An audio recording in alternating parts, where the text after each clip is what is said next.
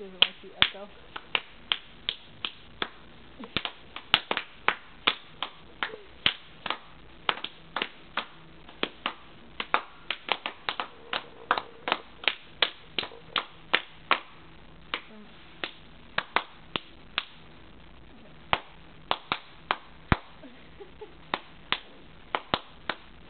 Echo bouncing off the walls is reacting. Alright,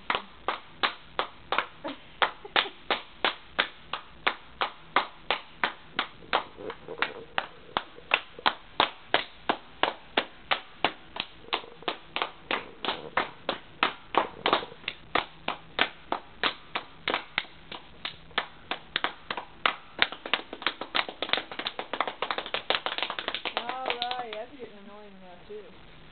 My hands are red now.